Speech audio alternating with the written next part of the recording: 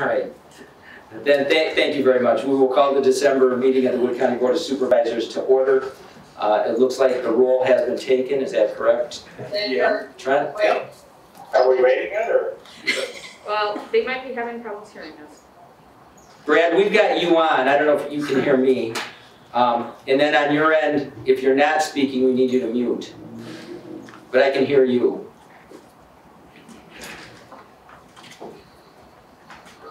Can anybody hear me? Yes. Yes. We can hear you. Okay, is there something going on, or are they, are they starting the meeting or no? All right, let's try, it. Brad, can you, this is Lance, can you, No. Lance to Brad. Yes, we're all in. Brad, can you hear me? Okay, let me text Sue. Okay, thank you, and I'll go back on mute then. Yes, thank you. But we have audio. All right, this could get interesting. This is gonna get fun. All right, I think we called the meeting to order. We have taken the roll. At this time, I would call on Vice Chair Fisher to please come forward for the invocation. I'd ask the body to rise for that and then remain standing for the Pledge of Allegiance. Would you please pray with me? Dear Lord, we come before you today, and Lord, I just pray for peace. Lord, as uh, we live in interesting times and in times of great trouble, as I think about the last year from uh, the pandemic to uh, to rioting, to civil unrest, to so many things, Lord. I pray for for peace in our nation. I pray for peace across the globe.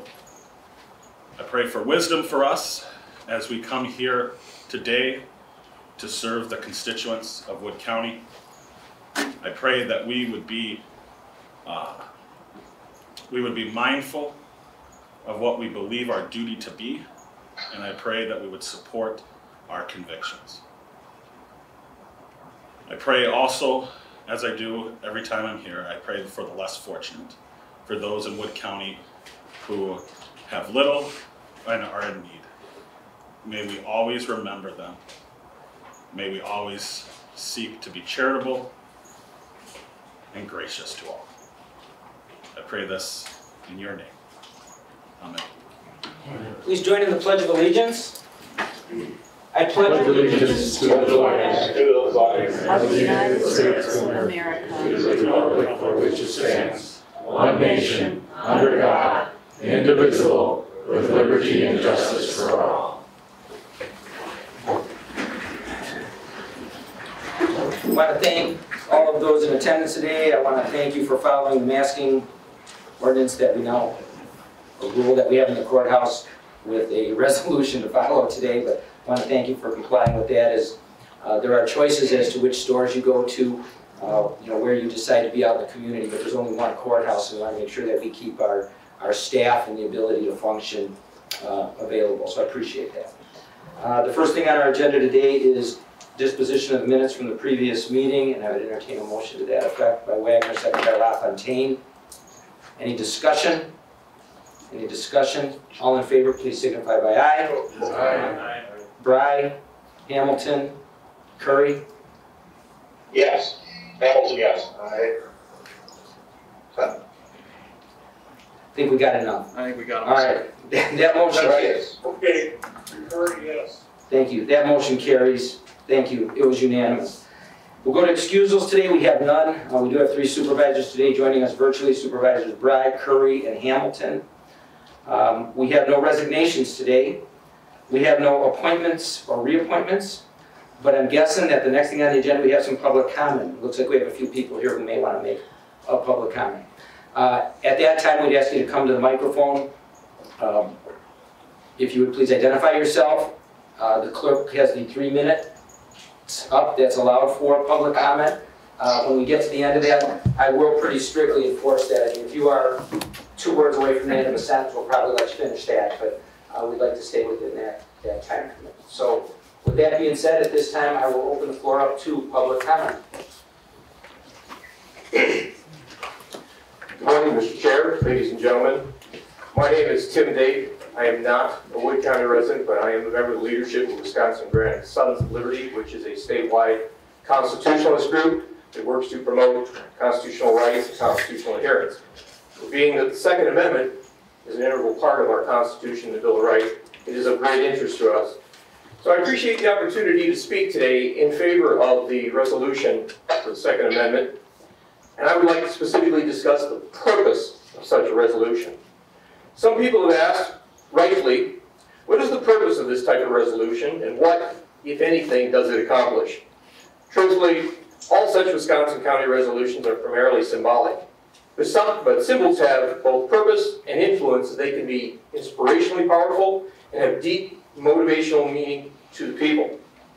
This resolution is a statement of principle that declares that the county supports the Second Amendment and opposes any further infringement on the constitutional rights of the people. These resolutions have become a trend, now sweeping the nation. Wood County is not alone in this endeavor. 974 of the nation's 3,142 counties, roughly one-third, have enacted such a resolution over the last couple of years. Wisconsin's already seen 14 of her 72 counties enact a resolution to affirm Second Amendment constitutional rights over the last year, one county at a time. Why are these resolutions being passed? The Second Amendment is about more than hunting, self-defense, or sport shooting. We're conditioned to think that if tyranny were to come, it would most likely be in the form of the federal government, and we would look to our state government to protect us. But who would think the state government could be a tyrant? People of California, Maryland, and Virginia thought that as well, and they have been contending with oppressive state governments actively infringing on their rights. If I were to have spoken to you six or seven months ago, you might have said, this isn't Wisconsin, I mean, this is Wisconsin, this isn't Virginia or California, and we don't have issues like they do. But the situation is changing. In this year alone, our Wisconsin state government has punished people for attending church. That's the freedom of religion. Gathering in groups, the right to peaceably assemble. Speaking out in objection, freedom of speech. Demanding government listen to the people, the right to petition government for a redress of grievance. And stated that the governor alone decides who is the press and may report from the Capitol. It's the freedom of the press. These examples are all five of the rights guaranteed by the First Amendment, all infringed this year in this state. So I ask, who then protects the people when the state becomes the tyrant? If the state government won't protect our rights, who will? What is the next level of government we turn, we the citizens turn to? And the answer is the county, and this is why the resolution's in front of you. You are the next protector of our rights. It's why we have seen sheriffs and county boards across the nation refuse to carry out some of the orders of governors. Those sheriffs and county boards are placing the state and federal constitutions first, and rightly so. Will you do the same? For most of you, the decision to run for the office of county supervisor is probably not very controversial. You had expectations of working on a budget, deciding which roads to repave next year, maintain staffing, all mundane but very necessary activities. You probably didn't foresee being in the midst of a constitutional issue, yet here you are. And I envy you as you have the opportunity to do something of significance to preserve. A little bit more to preserve. Uh, preserve American liberty and rights. That's We hope you'll take the chance to do this. Thank you.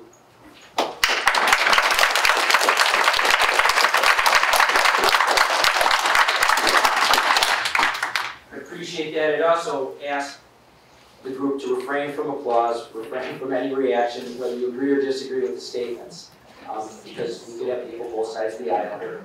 Uh, Please, continue. Next.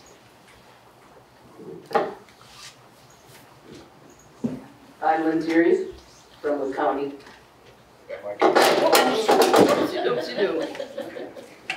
Can I have my time back? Claiming the time. Reclaiming the time. Is this what? Okay, this is working.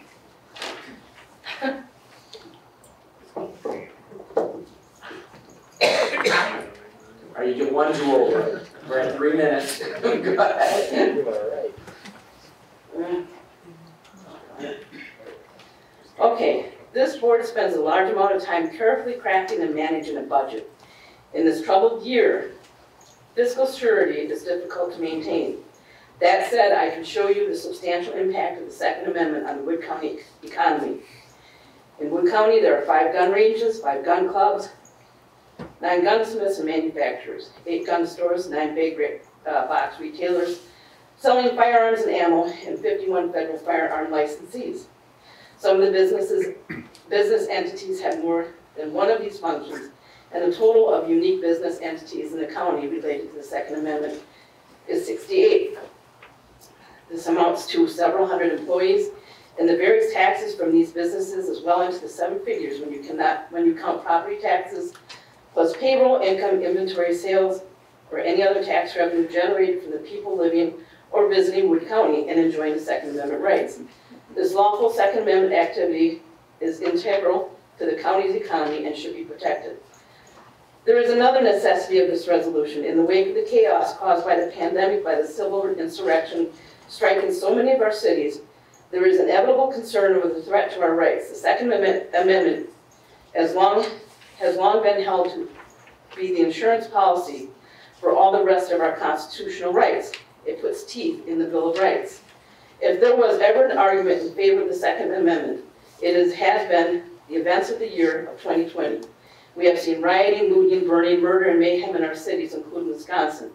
46 Wisconsin cities have been pro- have seen protests in 2020, and some of the protests turned violent riots, including the cities of Kenosha, Wauwatosa, Madison, Milwaukee, Green Bay, and Racine.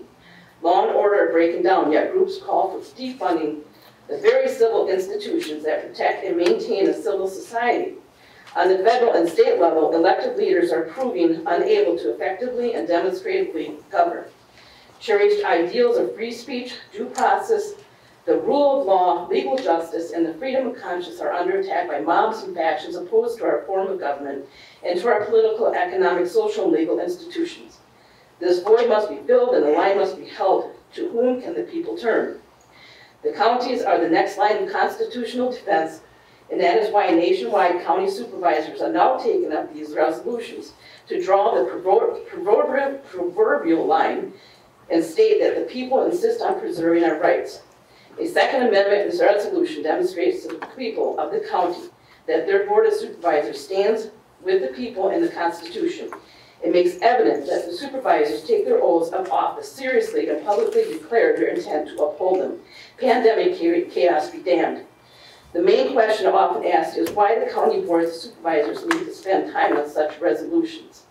These resolutions are necessary and timely wake-up call to the state governments to obey the federal and state constitutions and that elected leaders must preserve and respect the rule of law. We are free citizens of the United States and we intend to remain free We with our have time, constitutional rights intact.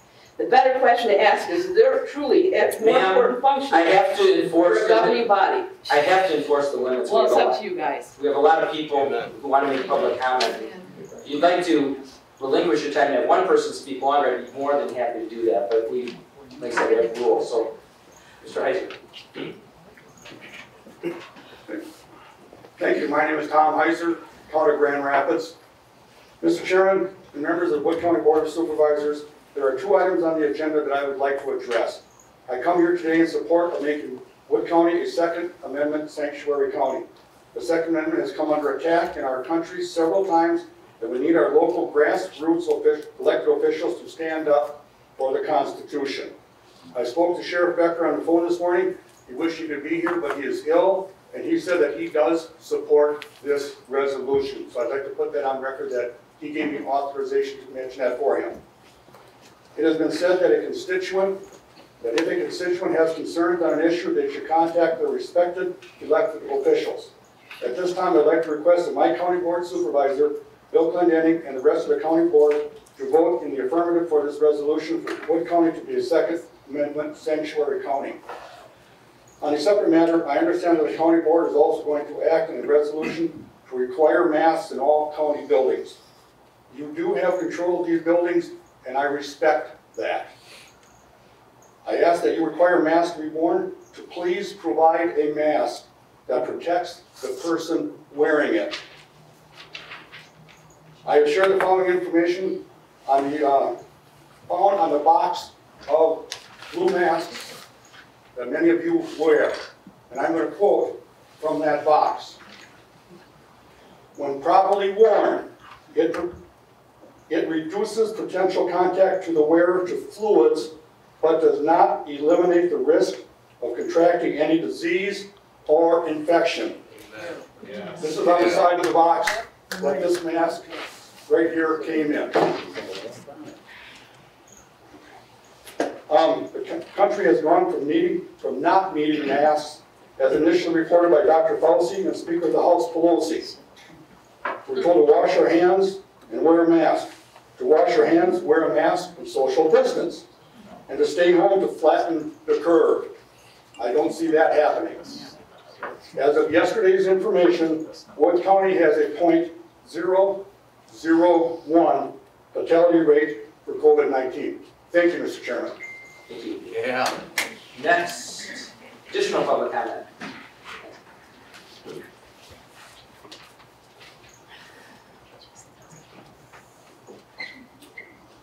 Morning, uh, my name is Mike Geary. Uh, I'm here to address, uh, from our last board meeting. There were certain, uh, people present that did not believe that there were any kind of Second Amendment abuses in this country. I'm just gonna list a few, so bear with me for a few moments. During the antebellum period, many slave states permitted black freedmen to own firearms.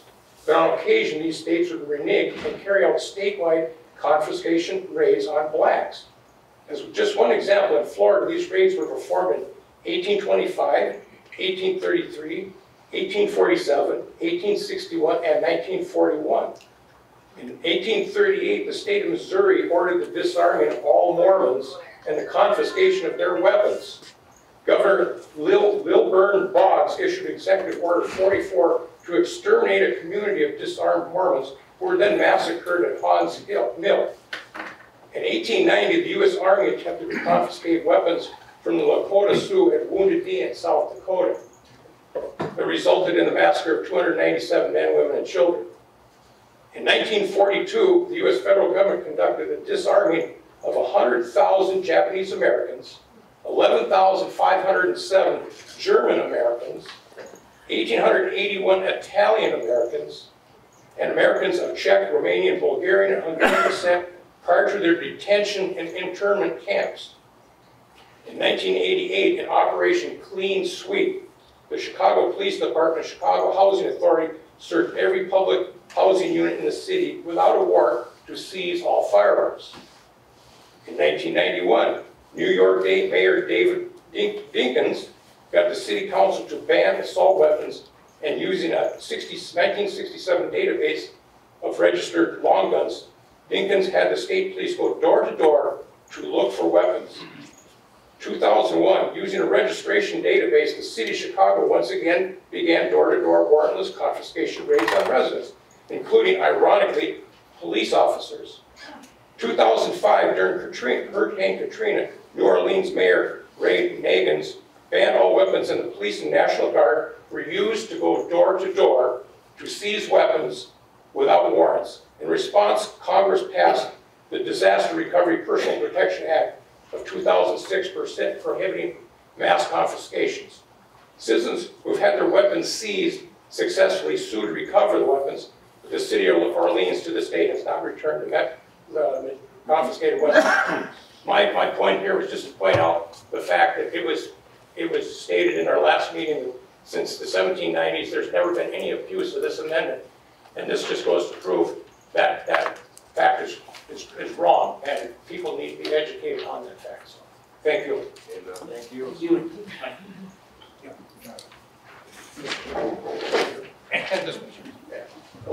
Sorry about that. Hi, I'm Joe Humphrey. I reside in Richfield Township, just up the road.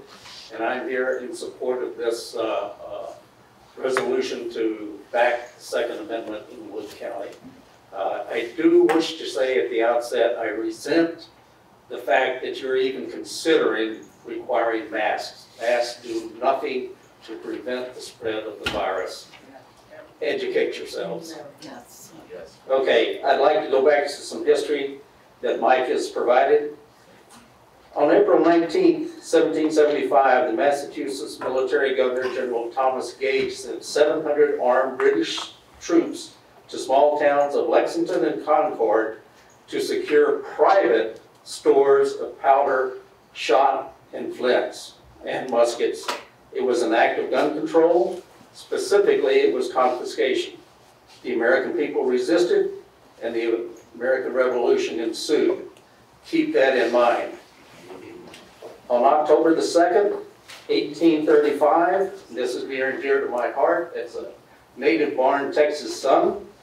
The Mexican president Antonio Lopez de Santa Anna sent a company of dragoons to the small Texas town of Gonzales to take a cannon that the townspeople used to ward off Comanche raids. It was an act of gun control, specifically confiscation. The people refused to give up the cannon, and the Texas Revolution became a shooting war, and we sold tons and tons of t-shirts that said, "Come and take it." On April 12, 1861, the government of the state of South Carolina, at that time in rebellion to the United States, demanded that the U.S. Army turn over Fort Sumter and its cannons and rifles to the government of South Carolina. It was an act of gun control, specifically confiscation. The fort's commander, Major Robert Anderson, refused, and the South Carolinians fired upon the fort, and the U.S. Civil War became, became a shooting war. Again, keep that in mind. Each of these North American examples, the government attempted to seize weapons belonging to the people, the people refused, a revolution commenced, and that the aggressor government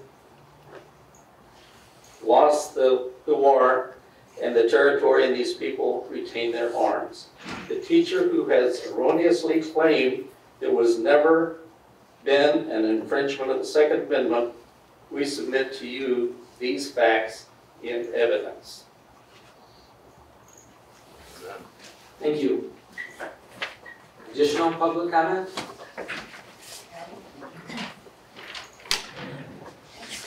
Good morning, my name is Gene Noonan. I want to speak in support of the resolution. Uh, I've- been an NRA member most of my life, and I think you need only travel across state lines to, to get a pretty quick understanding of the east and west coast elites and the cultural war that's coming our way, folks. Um, You can't travel with a handgun into California. You can't go into Canada with a handgun. A lot of people don't know that. If you own a handgun in Canada, you have to register it to go down to the gun range for that day. If you come back that day and you stop at the restaurant, you can be thrown in jail. So the assault is coming, and I'm here to tell you that. Um, You know, we travel, like I say, across state lines a lot with guns, whether we're hunting or, um, and to do it lawfully is interesting. I mean, I have to case my gun to go through Minnesota and Illinois. And the rest of the way out west, I can stick it wherever I want to put it, loaded and such with my concealed carry permit from here. So, again, I think resolutions like this are really important. Um, There's a lot more support than what's just in this room for the Second Amendment. Um, And I I just, again, want to speak in support of it. Thank you. Thank you. Thanks.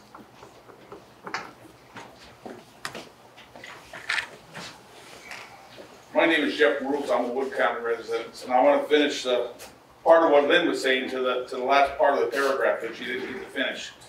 But it says the main question often asked why the county boards of supervisors need to spend time on such resolutions. These res- resolutions are necessarily and timely wake-up call for the state governments to obey the federal and state constitutions, and that elected leaders must preserve and respect the rule of law. We are free citizens of these United States, and we intend to remain free with our constitutional rights intact. The better question to ask is there's truly and more important function for the government body at any level of government that the robust, robust and spirited defense of the people's liberty. After all, that is why our state and federal constitutions were written. Thank you. Additional public comment?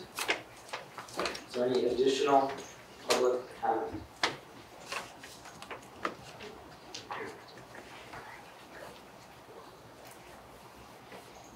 Morning, uh, my name is Andrew Request, I'm uh, a resident of Milladore. Wasn't planning on even coming today, but I felt being here was necessary. Want to talk about some of the plans for the possible upcoming administration. A Biden-Harris administration would turn the normal everyday gun owner into a felon overnight. If those people chose not to comply, this is according to the Biden uh, Harris campaign themselves. I'll explain. The Biden-Harris administration will regulate any semi-automatic firearm that is designed to hold 10 or more rounds. They would also regulate any magazine able to hold 10 or more rounds as an additional NFA item. Well, what all of that means in real world terms is that anyone who currently owns or plans on buying a handgun or other semi-automatic magazine-fed firearm is now subject to a $200 tax stamp on the firearm, a $200 tax stamp on each magazine, additional costs for an NFA background check, and a wait period of up to a year or more. So let's give an example. Let's say someone currently owns, and I mean currently, one basic stock Glock 19 handgun. Out of the box, it would cost an additional $600. One gun, two magazines, three NFA items. Enforce that as an NFA item. Once it's registered as an NFA item, it would be required that the location of the firearm stored within the home be reported to the ATF. As it stands now, the ATF can inspect NFA items in your home. If the owner failed to comply, he or she would be committing a felony, the sentence of which could be up to 10 years in prison. This effectively would turn the average law-abiding gun owner into a criminal by act of noncompliance. The majority of the people uh, that do not know or understand the policies that will possibly be put into effect um, it's, in my humble opinion, if they're, if they are the average and otherwise quiet citizen will be heard. The Second Amendment was not written to limit state powers. The right to protect yourselves against tyrannical overreach was granted to all men at birth by God, not the government. Amen. Thank you for your time. Thank you. Give an additional public comment. Anything?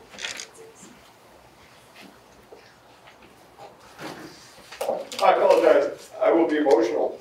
That fired me up. I wasn't going to talk, but it, it needs to be said.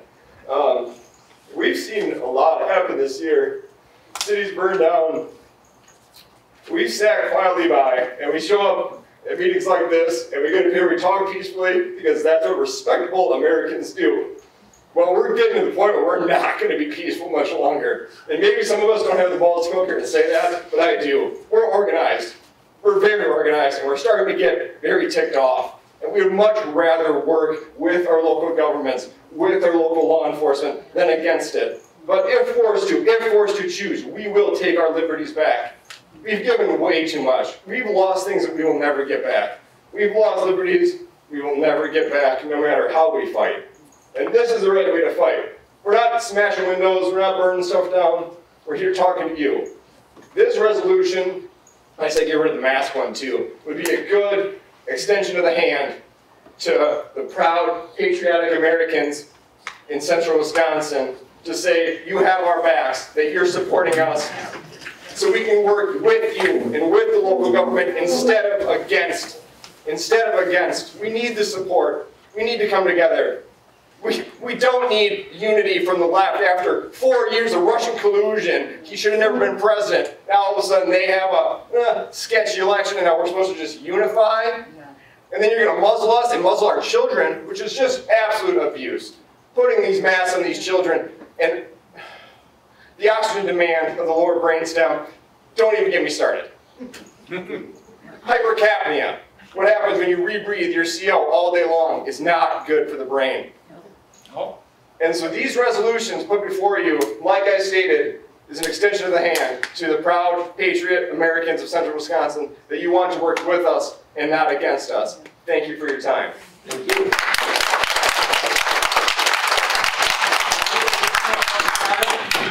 Any additional public comments? Supervisor Lightner? Uh, Mr. Chairman, if there isn't any other comment, I do have from a District 17 resident, a comment he wanted read into the record, so I may do that at this time. Without objection, yeah. My name is Leo Thomas Guard. I have resided in the village of Port Edwards since 1976. I retired after a 34-year teaching career in social studies in the Nekoosa Public Schools. I currently am the Vice President of the Port Edwards School Board and serve as the Secretary of the Port Edwards Police and Fire Commission. I am an Eagle Scout, was the Scoutmaster in Port Edwards for four years. I served in the U.S. Army Reserve for six years and was honorably discharged as a Staff Sergeant. I am not a hunter, but own both handguns and rifles, mostly used over the years for target shooting. I have no problems with proper, safe, responsible use of reasonably normal firearms for legitimate legal purposes. I wish to voice my strong opposition to the proposed sanctuary county resolution on your agenda for the December meeting. I believe it is a waste of time and energy on your part to even consider a proposal, proposal that your own corporate counsel, Mr. Kastenholz, advised you in his November 10th memo that, quoting now, such an ordinance would not be legal or enforceable, and I can't amend its language so as to make it legal and still accomplish the purpose of the drafters. This proposal is only for show and accomplishes nothing except to arouse emotions and create division at a time when there is so, there is far too much division already. A county simply cannot choose to ignore state or federal laws that supersede its authority. As those providing leadership and direction for the citizens of Wood County, you need to prioritize your time and energy toward issues and decisions having real impact and merit. This proposal has neither. It does nothing and can accomplish nothing. It is totally without merit and should not have come to the floor for a vote. Citizens of Wood County are dying of COVID almost every day. You know, I really appreciate if we wouldn't have the reaction, it it really diminishes the case you're trying to make. Uh, so I'd appreciate, you know, they remain silent during your public comment, I'd appreciate the same consideration. People are out of work. People are wondering how they will pay their rent and mortgages. Folks worry about being able to somehow safely see their families for Christmas. And you decide to spend time on this. Be leaders. Do the responsible, right thing and vote against this nonsense and get back to serious matters. Thank you, Mr. Chairman. Is there any other public comment? Is there any other public comment? All right, then, seeing none, I, there's two things I'd like to do. The first thing I want to clarify, uh, and it's not being in front, the, because some of them alluded to, the, if you want to call it the masking, uh, resolution that comes before you pertains only to county-owned buildings. This is not a countywide one, which I've heard from some people, saying, how can you require people out in the public? It's not, it's in the courthouse here, uh, and basically to try to slow any spread as possible.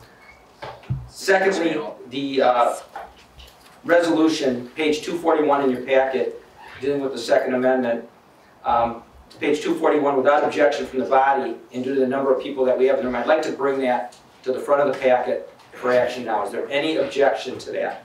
Supervisor Clendenning? Yes, I would object. I think since they have to listen to us, we have to listen to them, they have to listen to us and how we do this. I do object. Can I take it to a vote, please? All right, I'm gonna do this by, uh, I'll listen for a second and then I'll do this by vote. One of my considerations with the number of people that we have in the room, the first question I was asked today is if I'd like to move those people to a separate room and appear virtually, and I said, I, I don't know that that accomplishes what the public would like to do here. Uh, Supervisor Ashbeck? Thank you, Mr. Chairman. With the number of people in this room here, with the virus the way it is, I just so go to the amendment that, and, and have, have it over with, because let the people home then, so. Because we don't need all that breathing in here with many people. That was my consideration here. So let me just ask this, um, supervisors, all in favor of moving this to the, to the front of the agenda, please signify by aye. Aye. Opposed? Aye. Okay, so I think, if I'm correct, is there anybody who objects other than Supervisor Clendenning? Hamilton. Supervisor Leichtnam objects also. So that carries, we're gonna move this to the front of the packet. Uh, I would ask the clerk to please, this is page two forty-one, we're gonna wait a minute. Apparently, we're having a little trouble here with the system We're again. trouble again.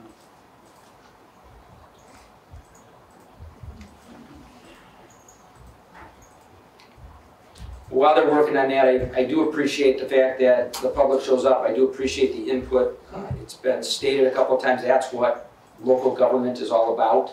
So we do appreciate your being here. Do appreciate the comments.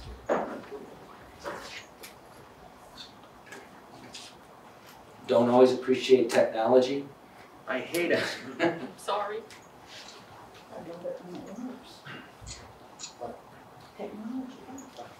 Well, we're working on that. I have no acknowledgements or recognitions today either.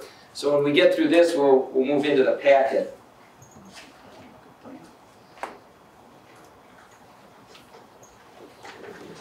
Stay by me. I think it's the metal plate in my head.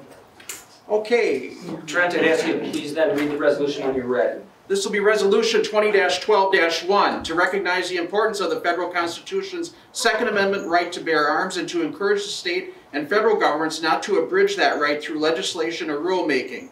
Fiscal note, none. Okay, and I have a motion by LaFontaine, I have a second by Super- Supervisor Zurfluh.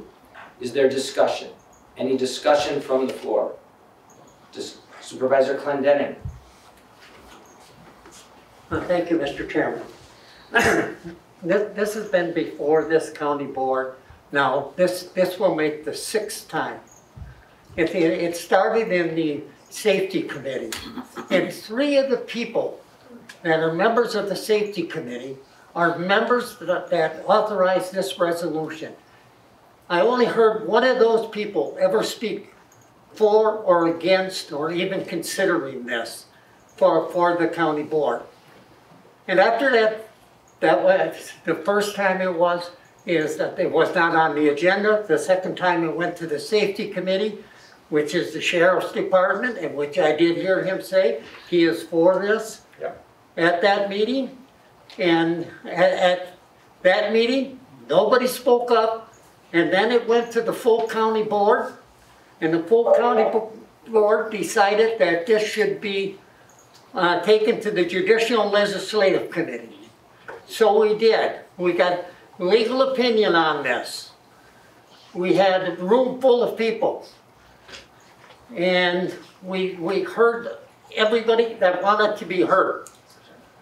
And I was criticized for letting them go on so long, but we did. We did it. And a motion was made and it wasn't seconded. Another motion was made and it was uh, seconded and a vote was taken on it and it was a tie vote. Now what can we do? We had people that also that are on there that were attending that meeting, that are on this committee, on this uh, resolution as sponsors. They never said a word. And, and, and I begged one of them that had a resolution. I said, why don't you come forward so these people can do it? That was not done. So now this is the sixth time. And the, and the people in charge, I say, why don't you go down to Madison? Sounds like you got them people on your side and have a statewide. Have the state do this. Why come here and tell the city of Wisconsin Rapids, the city of Marshfield, the town of Grand Rapids, that I don't care what you do about gun control, the county is not going to, is going to do it and you can't do anything. Now somebody's gonna say, oh, well, counties, uh, cities don't have a chance. There is one city, I believe it's Merrill, that has a- an ordinance against this. I think there's seven states that have it. Why not go down to the state legislator? We got a future legislator that's on this resolution name. Take it down there, see what the state's got to say. Thank you. Further discussion? Is there any further discussion? Supervisor Leichtnam? Thank you, Mr. Chairman. I'll, I'll make this brief because I've spoke on it before, and I think most people know how I feel. I've, I've read the resolution over, I don't know how many times, probably more than 10. And it, it does bother me because the Second Amendment, nobody is questioning. This is a large nation, 330 million people.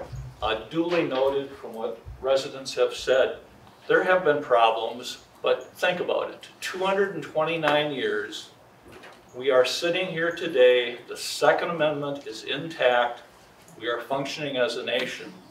Problems, yeah, problems here and there, but two world wars, a civil war, countless recessions, depressions. um, I do not see the seriousness of the challenge to the Second Amendment. I'm gonna be voting no when we vote on this. Supervisor Fisher. Thank you. I, uh, believe it or not, I, uh, prior to 2020, I never even held a gun. Um, I have never held a gun prior to 2020. Um, Never cared to carry a gun, was never an interest of mine. Um, Quite frankly, I do believe in the Constitution, and I believe in supporting the Constitution. And Supervisor Leichtnam makes some fair points in the sense that the Constitution is intact, but the reality is this resolution is in place to support the Constitution. We are trying to pass this in order to make a statement to the state of Wisconsin, to the federal government, that Wood County does support the Constitution and the Second Amendment, which we believe is the right of people to bear arms. I would encourage people, and some people in this room might not like this, but if you do not want, if you do not like what the Second Amendment says, you have every right to fight that. But for me personally, in 2016, in 2018, and now in 2020, I took an oath of office. And in that oath of office, I swear to support the Constitution of this great country, the United States of America. And I took an oath to support the Constitution of the state of Wisconsin, which I love. The Second Amendment is in the United States Constitution. In the state of Wisconsin Constitution, we talk about the right to bear arms. To me, an oath is a promise, and I will be voting for this because I want to be a person who keeps his promise. I promised to support the Constitution. I will be voting yes. Thank you. Further discussion? Further, Supervisor Wagner. Thank you, Mr. Chairman. Uh, let me get something straight right up front. I own a gun. I'm not, I am not anti-gun at all, in any way, shape, or form. Listen, I want to talk for a second about Mr. Fisher's comment that he just, just made, that, you know, we took an oath to support the Constitution of the United States, the Constitution of the state of Wisconsin, and their laws, and the laws and the rules of the, and the ordinances of Wood County. And I will do that. I pledge to my fellow supervisors, I will support the Second Amendment and the, uh, and the Constitution of the United States. I will do that. The problem is, I think this resolution before us goes far beyond that. It asks us to resist lawful changes made by either the federal or the state government if, for some reason or another, someone decides they're tyranny, or they represent tyranny. I don't believe that's the case. I believe in the federal system, I believe in what's going on with the, uh, with the separation of powers, and I will support the lawful, the lawful orders of the, the uh, commander-in-chief, as I did in the military too, as most, most of us who were in the military pledged to also. And I will back up the Constitution. But I don't believe this resolution will do anything for us, and so I'm going to vote against it. Thank you very much.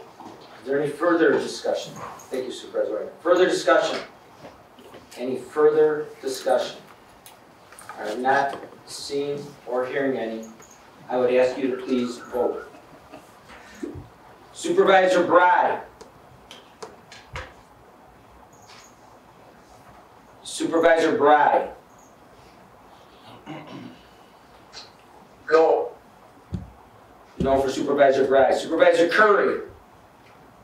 Supervisor Curry, no. Supervisor Hamilton. No. Yes. Supervisor Hamilton is a yes. Okay. So you punched all those in. So that resolution carries twelve. What do we have there? Twelve to seven. Seven, do we have any abstentions? No, No. can't see that far. The resolution carries on a twelve to seven vote. Thank you.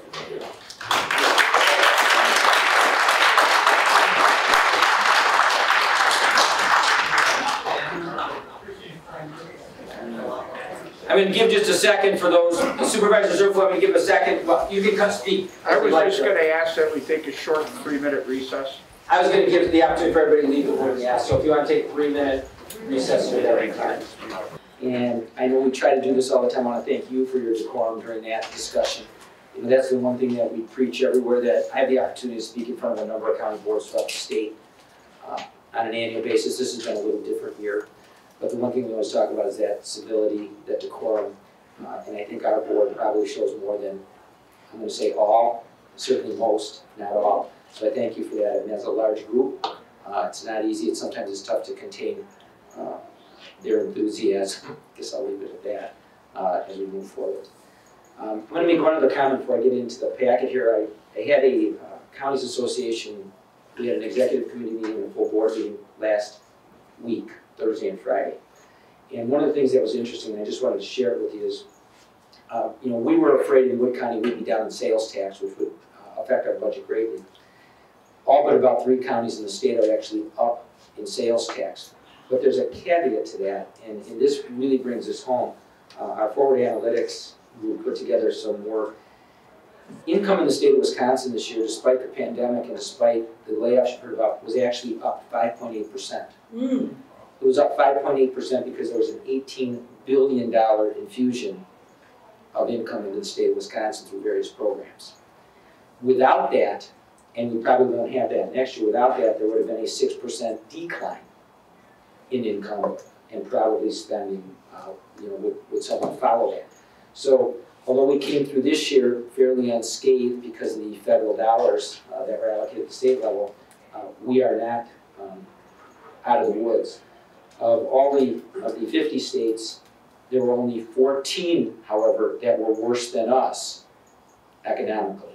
So we are at pretty close to the bottom of where it's at, and I think that's gonna come home this coming year. And I only mention that as we go forward in, in what we're looking at in this coming year. So uh, hopefully it continues to get better, hopefully with the vaccine out and things like that happening, economies and businesses will return more closely to normal. Uh, But they anticipated more than 1,000 Wisconsin restaurants will not reopen after the first of the year. Uh, That's a lot of the economy, a lot of employees, uh, and those most probably greatly affected based on income. So something to keep in mind, something as we go forward, as we look at, uh, you know, revenues and spending. And I just wanted to share that, because that really hit home uh, in those meetings. All right, to the, to a happier note. Back to the packet, referrals for December. um, Those went to the appropriate people. The, um, the note uh, from the family of former Chairman Gordy Stargard uh, thanking us for the resolution honoring his service, and then the resolution from Eau Claire County being referred to the proper committees. All right, let's get into the packet, page six. The uh, public hearing for the budget on the Operations Committee of Tuesday, November 10th, that was page six. Pages seven and eight, the Operations Committee of December 1st. Page nine and 10, uh, Office of the County Clerk. Uh, Would the county clerk like to say anything, having gone through the election, or? I look good for twenty, don't I? I feel like I aged a little bit through that process. I, I have a question. Are we supposed to use this now? Yeah, that would help. Supervisor Rowland. Is, um, so, It's on. it's on. one. I don't have to do anything. Is it on? Okay. So I want, are there any elections scheduled for twenty twenty-one? There is one for sure, which will be on April sixth, um, which is our normal spring election, which include most all of our township, villages, and cities, also school boards. We do not know yet if there will be a primary in February, but I'm thinking there probably will be, because there's seven people running for state superintendent of public instruction, so they'll prob, I'm thinking we'll probably see a statewide primary, so two for now. Thank you. I just wanted to give him a chance, because in our county, things went real well. uh, And I can tell you, our results get posted faster than most counties around the state by days oftentimes. So Uh, congratulations, Trent, to you and your staff down there, and those people who work elections around the county. Pages eleven through fifteen, monthly update from Human Resources. On page sixteen, the Treasurer's Report. Employee Wellness on seventeen. And that brings us to the first resolutions in the pack. We have four budget resolutions here, I believe they're all budget reconciliation amendment type resolutions. Is there any objection to taking those together? We have four of those or three of those, Trent? I think four. Four of them. Yeah, is there any objection to taking the budget amendments together? Okay, Trent, if you would please read those four. This will be Resolution 20-12-2 to amend the 2020 budget for Human Services Norwood Health Center and Edgewater Haven programs for transfer of available appropriations to functions where actual expenditures are recorded. Fiscal note, no additional cost to Wood County. The additional appropriations needed for transfers in are available and are not anticipated to be spent in the approach appropriations to be transferred out. The adjustment to the budget totals $608,000. Resolution 20-12-3, to amend the twenty twenty budget for Humane Officer for the purpose of funding higher than anticipated expenditures. Fiscal note, to transfer fifty-five hundred dollars from available balance in contingency to Humane Officer. At the time of this request, funds available in contingency are four hundred and thirty-five thousand dollars. The adjustment to the budget totals fifty-five hundred dollars. Resolution 20-12-4, to amend the twenty twenty budget for UW Extension projects for the purpose of funding higher than anticipated expenditures. Fiscal note, to transfer sixty-five hundred dollars from available balance in fund balance to UW Extension project. The adjustment to the budget totals sixty-five hundred dollars. Resolution 20-12-5 to amend the twenty twenty budget of various highway functions listed below for additional expenditures of one million, one hundred and twelve thousand, two hundred and thirty-nine dollars not anticipated during the original budget process. Fiscal note, no additional cost to Wood County. The adjustment budget totals one million, one hundred and twelve thousand, two hundred and thirty-nine dollars. Thank you. And I have a motion by Supervisor Wagner, a second by Supervisor Fire. Is there any discussion on these resolutions? Supervisor Zurfluh. Thank you, Mr. Chairman. I'm just, my numbering was off uh, with Trent's. Like I had, on here, it said uh, highway resolution was uh, one dash four, and it came up as number five. It's Because item eight one was moved forward. It's sanctuary. Thank you, That Mr. was Chairman. resolution number one. I stand corrected by the county clerk again. I was wondering too, I just didn't ask the question. All right. Any discussion? Any discussion? Any meaningful discussion? All right. Keep keep that in mind when you deal with the clerk. All right, any other people? I thought we were civil.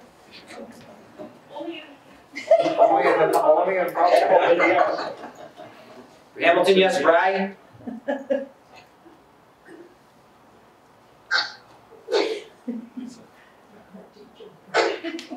Yes. And Supervisor Curry? Yes. Thank you. That resolutions, those resolutions passed unanimously, thank you. Next two resolutions in your packet from the same committee uh, are the uh, exception of uh, offer of sale on tax deeded properties. Any objections taking those together? All right, without objection, Trent? This will be Resolution 20-12-6 to accept the offer of sale of tax deeded property. Fiscal note, offered amount minus real estate taxes, special charges, delinquent utilities, special assessments, publication fees, and tax deed expense, net us a gain of one hundred and eleven thousand, eight hundred and ninety-one dollars and fifteen cents. Resolution 20-12-7 to accept the offer of sale of tax deeded property. Fiscal note, the offered amount minus real estate taxes, tax deed expense, delinquent utilities, and special charges incur a loss of thirteen thousand five hundred ninety-seven dollars, seventy-nine cents. Okay, thank you, and I have a motion by Supervisor Fire, a second by Supervisor Wagner. Any discussion on these resolutions? Any discussion? Seeing none, please vote. Hamilton, yes. Thank you, Brad. Ryan?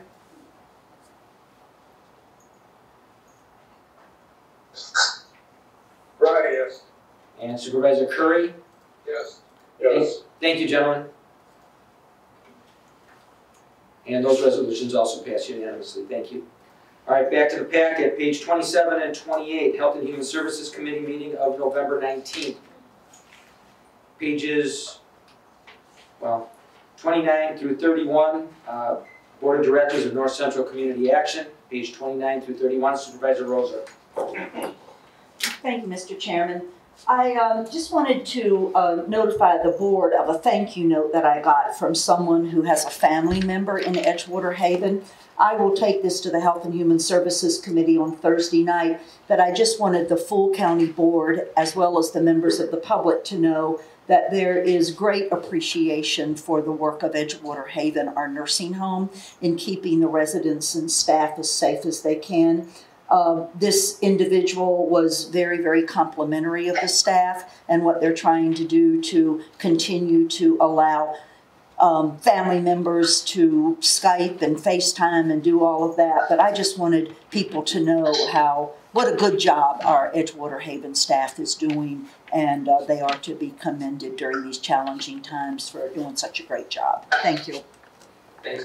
Back to the North Central Community Action, 2931, any questions there? Our Wood County Health Department, 32 through 35, and again, uh, extraordinary job that they've been doing, uh, working a tremendous amount of hours, dealing with everything imaginable, and most of which was unimaginable if you would have thought where we were last, you know, February or March, and where we still are today. Uh, the Report from the Wood County uh, Human Services Department, beginning with Director of Rulings on page 36 and running through page 40, 36 through 40. Uh, The Edgewater Haven update uh, from Marissa Lar on 41 through 43. Any questions there? Veteran Service Officers Report on 44 and 45. And then that brings me to the next resolution in the packet on page 46. Fred? This will be Resolution 20-12-8, to implore Wood County residents to take actions to stop the spread of deadly COVID-19 virus. Fiscal note, no, in- no fiscal impact. And I have a motion by Clendenning and I have a second by Rozar. Discussion. Supervisor Valentin. Um, I would like to oppose suggest an amendment uh, to point six and seven on the therefores, where it says, if you test positive for COVID-19, stay home for ten days from when symptoms began, notify your close contacts and ask them to quarantine for fourteen days from the last time they were around you. Um, I would like for that to say, ask them to quarantine as directed by the Wood County Health Officer, just due to the changes in the DHS regulations, or DHS suggestions. The, the same would follow for point number seven. Uh, it says stay home for fourteen days. I'd like to stay, stay home as directed by the Wood County Health Officer. I will second that. Okay, I have a motion by Valentin and a second um, to the amendment by Supervisor Clendenning. Is there any discussion on the amendment? Basically changing the days to the recommendation of the health officer. Any discussion on the amendment? Any discussion? Want me to go to the board on this? Yeah. Okay, please vote. I'll say yes. And then Curry and Rye? Curry, yes. Thank Friday, you, yes. Thank you, gentlemen. Lisa. Yes. There. And that resolution passes 18, or that amendment passes 18 to 1. Now back to the resolution as amended. And is there any discussion on the resolution as amended? Any discussion? All right, seeing none, please vote. Again, Supervisors Bry, Hamilton, and Curry. Yes. Curry, yes. Friday, yes. Thank you. And again, that resolution passed 18-1. Thank you. Back to the packet, page 47, beginning on 47 through 51, minutes of the Wood County Public Safety Committee of November 9th. That's 47 through 51. Pages 52 through 56, uh, information from the Humane Officer, 52 through 56. Page 57 through 66 is wage comparison information, uh, pages 57 through 66, and this was brought forward to deal with a resolution that's going to come forward here in a minute. Uh, Then we have the October monthly report uh, from the Wood County Sheriff's Rescue Squad, beginning on sixty-seven and going through page seventy-two. On page seventy-three, we have the Crime Stoppers report, seventy-four, the K-9, the Natural Resources Patrols on seventy-five, uh, operations, uh, overtime comp totals at seventy-six and seventy-seven. Beginning on page seventy-eight and going through page eighty-one is the Public Safety Committee meeting. Uh, this, uh, the Security Services Report, uh, the door seventy-eight through eighty-one. Beginning on page eighty-two and running through ninety-four, various jail population uh, and monitoring information, that's eighty-two through ninety-four. And then that brings me to the resolution I alluded to a minute earlier with the reason those wage, that wage information was in there. Page ninety-five in the packet, I would ask the clerk to please read the resolution. This will be resolution 20-12-9 To address wage compression in the Wood County Sheriff's Department that is continuing due to the existing union contract and the implementation of the new wage plan. Fiscal note, total increase to wages and fringes estimated to be thirty-three thousand, seven hundred and eighty-nine dollars and forty-five cents. No additional cost to the county. The required funds will be allocated from savings within the approved twenty twenty-one department budget. And I have a motion by Supervisor Clendenning, a second by Supervisor Fisher. Is there any discussion on this resolution? Any discussion? Supervisor Rozar? So I understand this wage compression, my, and I understand that, you know, the, the public safety people are still, um, have negotiations going on. Did our wage study that we did address com, um, compression in other departments with supervisors?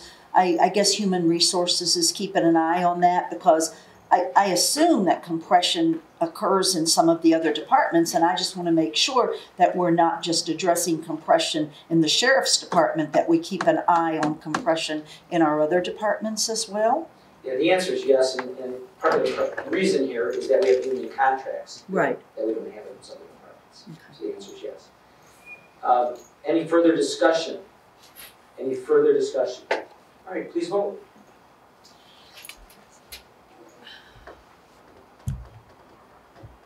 Yes. Hamilton with the yes, then Curry and Bry. Curry, yes. Thanks, Ken. Right, yes. And Bry is a yes. And that resolution passes unanimously. There is some additional information with that on pages ninety-six and ninety-seven. We go further into the packet, beginning on page ninety-eight, minutes of the CEED committee from November fourth, that begins on ninety-eight, runs through 102, 98 through one oh two, any questions there? Same committee, their meeting of December second, beginning on one oh three and running through one oh seven. Any questions?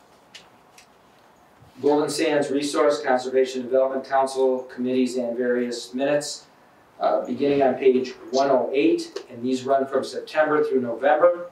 And, and part of this, uh, the reason we get some of these is just you know COVID-related stuff when we can get things into packets and, and actually get meetings. But this runs from September through November. It's pages 108 through 129. 108 through 129. We have the North Central ITBEC Board minutes from September 4th, 130 through 132. We have the monthly update from UW Extension beginning on 133 and running through 138. Any questions on extension? Land and water conservation beginning on 139, running through 144, 139 through 144. Then we have uh, monthly report from planning and zoning beginning on 145 and running through 149. The Citizens Groundwater Group Meeting, one fifty and fifty-one. The end of the year county surveyors report, one fifty-two through one fifty-five. The economic depart, development recovery meetings, uh, these happen basically weekly, we have these on that and the PPE. Uh, these started on October twenty-second, ran through November nineteenth, and that was the economic recovery minutes. The PPE minutes, uh, same thing, November 3rd and November 17th, on pages 166 and 167. Anybody have any questions on any of that stuff that we just ran through? All right, that brings us to the resolution in the packet on page 168 brought forth by the CEED Committee. This will be Resolution 20-12-10, to place on the Wood County April 2021 ballot a referendum question on clean water. Fiscal note, minimal cost to the county depending on the size of the ballot. Okay, I have a motion by Zurfluh, I have a second by Fisher. Discussion, any discussion? Is there any discussion on this resolution? Okay, I see none. Please vote. Hamilton, yes. Thanks, Brad. Yes. Ken, thanks.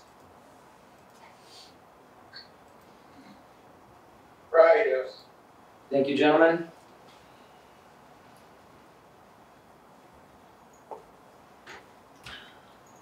That resolution passes 18-1, 18-1. Uh, Next resolution in the packet brought forth by the CEED committee. Uh, The resolution's on one sixty-nine. There's a, a number of pieces of accompanying information that run through page one seventy-five. Resolution again on one sixty-nine. I ask the clerk to please read the resolution. This will be Resolution 20-12-11, approve two zoning amendments to the Town of Grand Rapids zoning map. Fiscal note, no cost to Wood County. The Town of Grand Rapids is responsible for any costs associated with administering their town zoning ordinance. Okay, I have a motion by Fire, I have a second by Zurfluh. Is there any discussion on this resolution? Any discussion? All right, please vote. Hamilton, yes. Thank you. Murray, yes. Thank you. Right, yes. Supervisor Bride, three in the affirmative there. That resolution passes unanimously. Thank you. Page one seventy-six in your packet, minutes of the Judicial and Legislative Committee on one seventy-six. This is the November sixth meeting, running through page one seventy-nine, one seventy-six through one seventy-nine. Uh, We just have, I don't know, something from the Animal Medical and Surgical Clinic here, Bill one eighty. And then on page one eighty-one, minutes of the Judicial Legislative Committee of December third, and that's one eighty-one, two, and three. The Criminal Justice Coordinator Ad hoc Committee meeting from Wednesday, November eleventh, on one eighty-four, one eighty-five, and one eighty-six. Memos from Corp Counsel on one eighty-seven and one eighty-eight. Additional memorandum on one eighty-nine and one ninety. And then on one ninety-one, uh, a final note from Corp Council. Anybody have any questions there? Register of Deeds monthly report, uh, on page one ninety-two. And then that brings us to the next resolution the packet, page one ninety-three. This will be Resolution 20-12-12, to create three positions within the criminal justice coordinator budget, including a criminal justice manager, a criminal justice program specialist, and a criminal justice administrative support position. These positions are already funded through both grant and county levy funds via contract with Attic Correctional.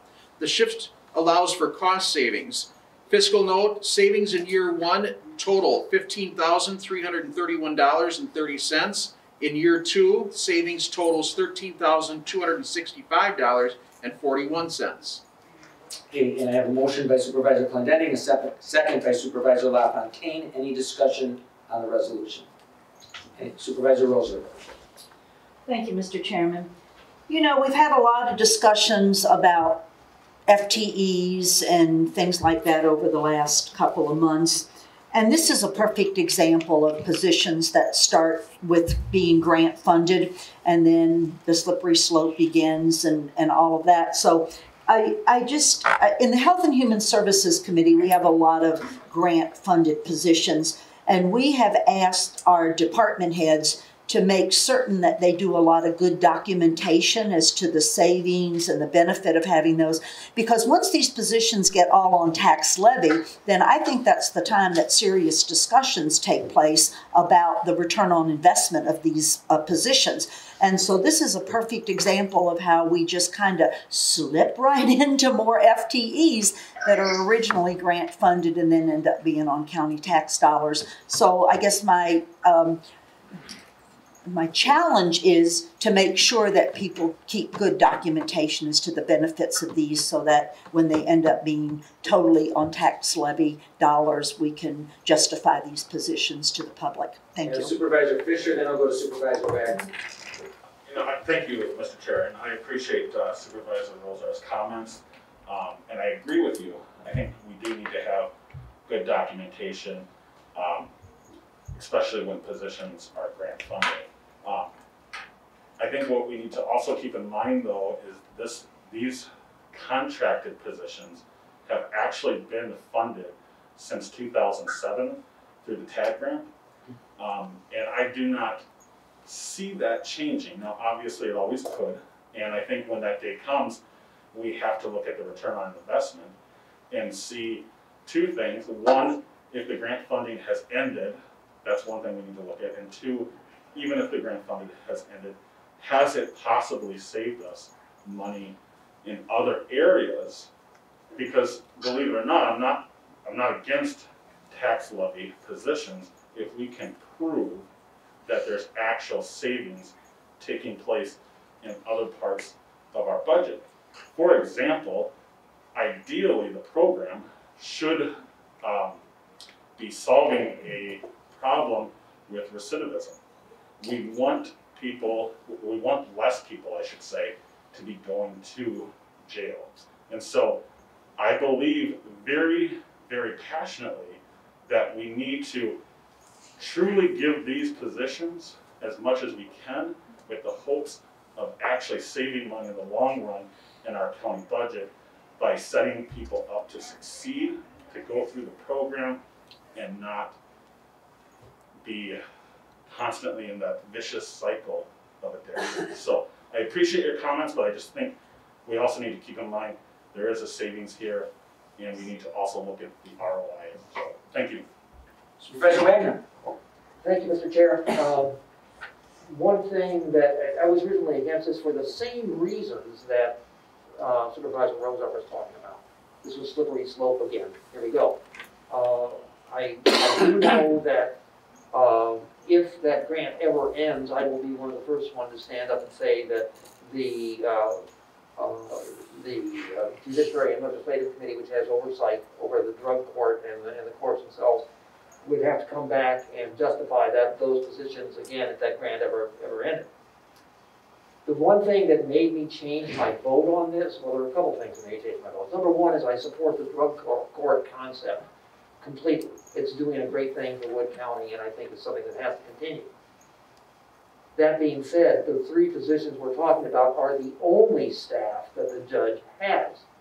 Therefore, if we had done away with it, if we had done away with the, if the grant went away, or if we had done away with it, or not voted to, uh, put it in these positions as they are, um, the drug court would have been handcuffed and been carrying out its mission. So basically, that, that's why I supported this. But I agree, we're gonna have to take a hard look at this, uh, at grant-funded positions in the future. And we said that, I stood at that podium, what, a month ago, and said that, and then the next thing I know, I get this resolution in front of me, and I won't tell you what I said under my breath. But it was, uh, it, it's been very bothersome to me in that case. Again, um, I, uh, I will support this resolution. Uh, I hope we don't see any more of this coming out of the ad hoc committee, because I think this is, I think I saw stuff in there that you wanted to do, uh, you wanted to put in other courts, like a juvenile, a juvenile, uh, mental health court, I believe it was. I think that's in there, and I think you also want your own oversight committee too. So, uh, anyway, we'll be looking at those things in the future, and we'll be happy to look at it after the first of the year. Thank you. Thank you. Supervisor Clendenning. Thank you, Mr. Chairman. Uh, I, I don't see anything in there about having an over, oversight committee. Uh, uh, You know, this is all still in the planning stage and, and yes, we have an ad hoc committee till March first, so after that, it'll, it'll be up to the judicial and legislative committee. I, I don't think there's anything hidden here that we're doing something wrong or, or intend to do something wrong. Uh, drug court, um, been in existence here, I think we were one of the first ones to have drug court. And if the funding ever stopped, I would suppose we would not have drug court, but, uh, yes, I, I agree with that, but I, I don't see, you know, anything hitting in that ad hoc committee that, that is a surprise.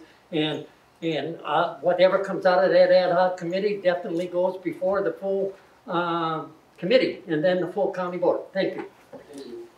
Anybody else out there? Zurfluh.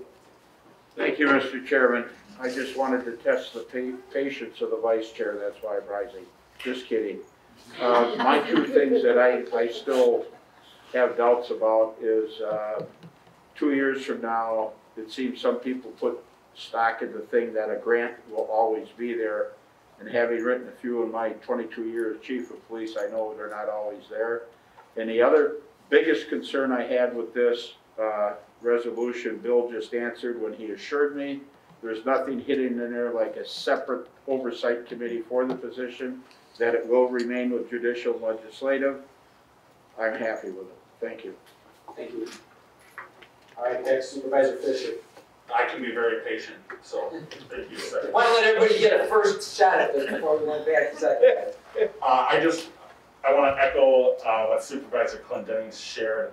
Um, I, I don't recall any conversation of an oversight committee. Um, This will stay under judicial and legislative. The ad hoc committee is scheduled to end, I believe, February first. Um, So there's no, there's no discussion of oversight committee. Early on, there was, there was discussion of where this position would report to, so I don't know if that's what Supervisor Wagner is referring to. But I just wanna, uh, make sure that the body knows that there is no discussion of changing the oversight committee. Thank you. Further discussion? Further Mr. discussion? Chairman, it's Brad. Go ahead, Brad. I raised my hand, but you didn't see it. I'm sorry. That's all right. Anyhow, uh, this would be no different than if, if we left it alone, didn't do anything, and it would still be in the, uh, still be in the hands of outside contractors. If we, we lose the grant, we'd have to figure out whether we wanna do it. This is a cost, cost effective, if it is cost effective, it'll be continued. If it's not, it's not, it's not, it's, it- I don't understand all the, all the, uh, debate on it, but, uh, as far as I'm concerned, I would, I would be looking at it whether or not we, we brought it back, because it was, it was brought by the, uh, by the committee to, uh, check it out, and see if, see if we can bring it in-house. What we're saying, fifteen thousand the first year, thirteen thousand the second year, if we have a problem, then we look at it, so, thank you. Thank you Supervisor Hamilton. If you could raise your hand a little higher next time. Yeah. You might be able to see it. All right, any further discussion? Any further? Supervisor Clendenning, are you, you're halfway up there, all right. Can you see me, Brad? Uh, Okay, um, yes, uh, just, just to go back, you know, I, I, I, I'm worried about somebody thinking that there's, there's rumors that we're gonna discontinue this, and it is not, and it is March first is when, when this ad hoc committee, everything we do goes back to the judicial and legislative committee.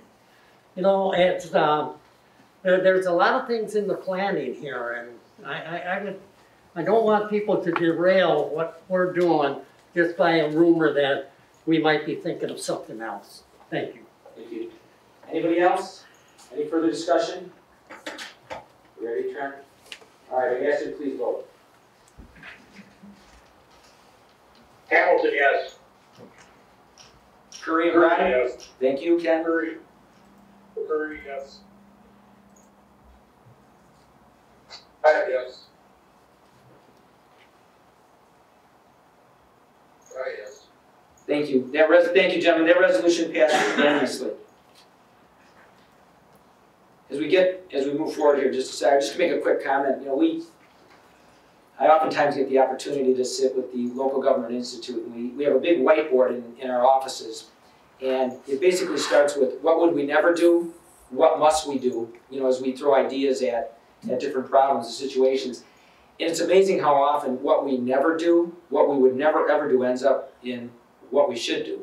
So I guess as we move forward as a board and we look at things, we always say, you know, what will, what will it mean tomorrow? How do we adapt and what do we do? So I really appreciate the conversation. I think we touched on a lot of the issues on this, this recently handled resolution uh, that we deal with every day. And, and things do change, and we have to look at it on an annual basis or even more regularly uh, as we tend to try to improve programs. So appreciate the conversation and appreciate that thought process that sometimes it isn't thinking outside the box, it's forget the box. It's, you know, how do we approach things from a, a different perspective? Uh, this next resolution on page one ninety-five, I'm pretty sure this was drafted by our clerk, but it says it came from the Judicial and Legislative Committee. So Trent, if you would please read the resolution. This will be Resolution twenty twelve thirteen, to recognize the work done by municipal clerks and poll workers in Wood County, in particular in processing all of the votes in the November third, twenty twenty election. Fiscal note, none. It is worth noting that if clerks and poll workers botch up any aspect of the vote counting, that many kinds of additional costs to the county could flow from such mistakes. And I have a motion by Supervisor LaFontaine and a second by Supervisor Clendenning. Is there any discussion on this resolution? Didn't think there'd probably be any. All right. You wanna get that ready to vote, Trent? All right, if you please vote. Wilson, yes. Curry, yes.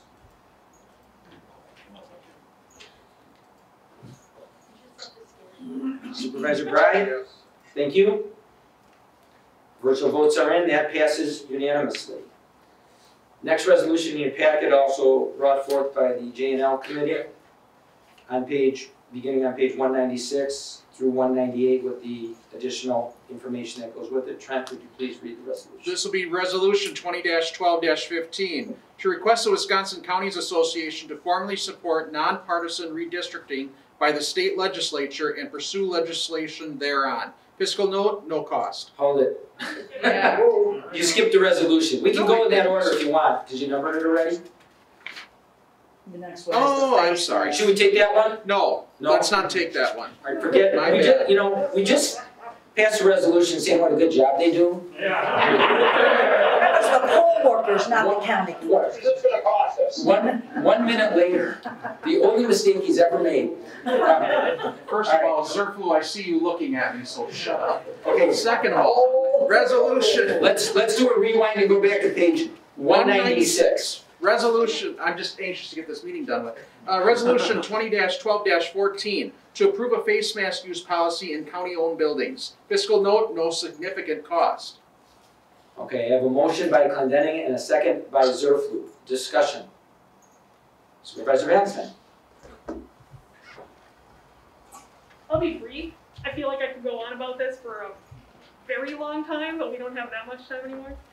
Um, I support this really strongly. For me, this comes down to respect. Um, my mask protects me, yours, I'm sorry, my mask protects you. Your mask protects me. And I think that we need to do a good job of protecting the employees in our county buildings. Um, and I think that we need to be good role models for the county as to how we want to treat each other. Thank you. Further discussion? Any further discussion?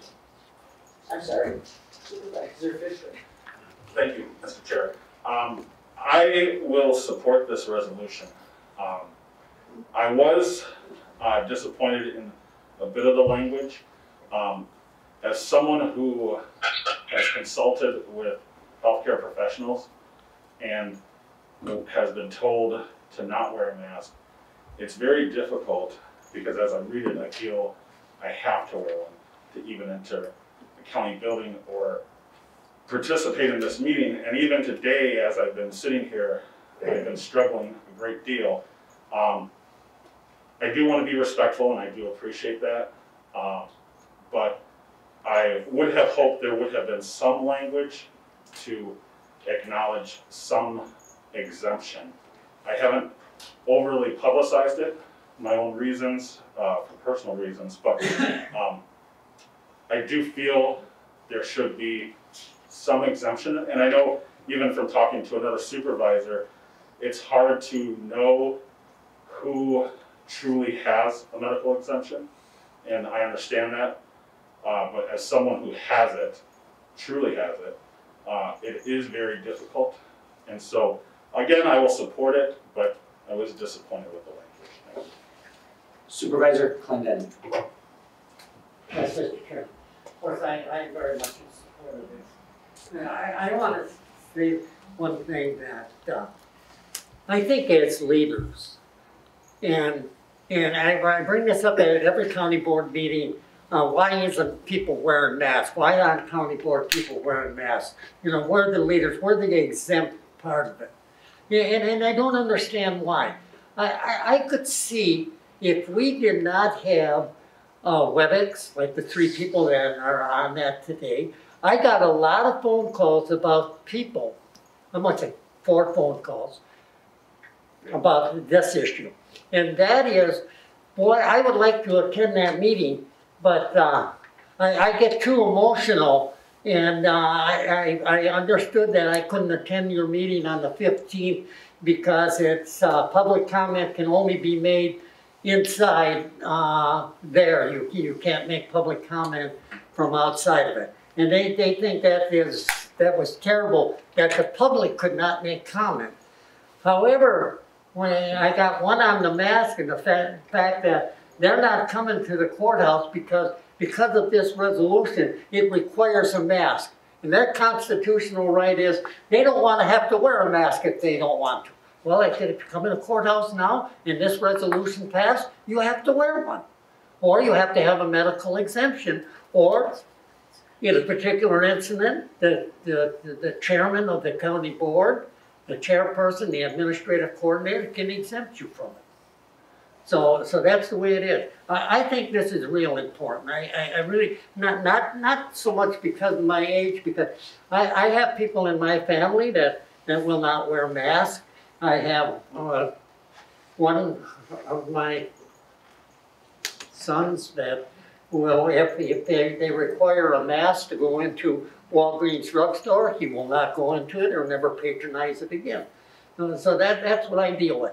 But when it comes to government that we are, I think this is real important. Thank you. Any further discussion? Supervisor Zurfluh? Thank you, Mr. Chairman. I, I support this uh, policy of using a face mask, but I do have a concern about our department heads in the courthouse. It is quite obvious that some business conducted, I'll pick on my favorite person, our county clerk, that there's function in his office that you cannot have a mask on to get them done. So the only thing that's still pulling on me that I'm not hundred percent for it, but I will vote for it, is, is this gonna infringe on department heads, if you follow my drift? So I just wanted to make that clear. I'm gonna try not to weigh in either way on this. The answer, the answer to that is, it shouldn't. Uh, we, we tried to create enough latitude in this where, uh, employees within their workspace, and we try to define that as a workspace, not just, uh, an office, uh, with department head, uh, approval, uh, have the ability to have those masks down. It's basically interaction with the public when in the hallways, uh, and there have been exemptions that we have granted based on medical or other reasons. Uh, there's not a lot, you know, it's kinda, I guess, like the speed limit. You know, you're supposed to go fifty-five. Some people go fifty-six, some do ninety. I guess we're trying to stop the ones that are doing ninety. Uh, the ones that are going fifty-six, uh, you know, we create a little attitude. So, uh, I think Supervisor Ballantyne touched on it, said, you know, you have the opportunity, and I- Supervisor Clendenning said the same thing. You can pick or choose what businesses you patronize, where you go, you know, based on what masking requirement they have. But if you're somebody who is compromised, there's only one courthouse. There's only one place you can go. You can't shop at a different one. And uh, so, you know, we've tried to create balance, is what we're trying to do. So anyway, I hope that answered the question a little bit. Back to discussion. Back to discussion. All right, I see no more discussion, then I would ask you to please vote.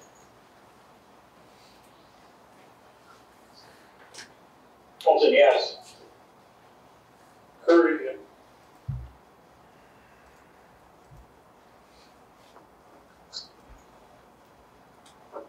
Supervisor Bry?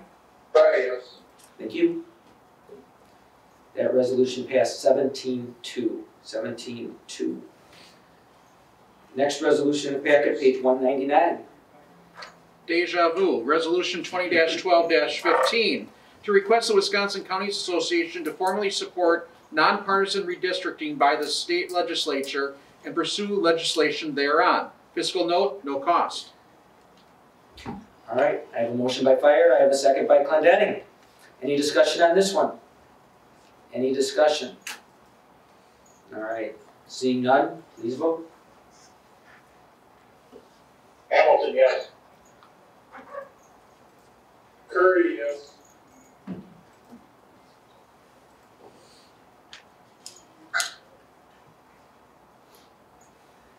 Supervisor Brady? Right, yes. And that resolution passes unanimously.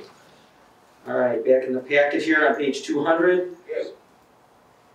Minutes of the Highway Infrastructure Recreation Committee, 200 and 201. There are minutes from December third on 202, 3, and four.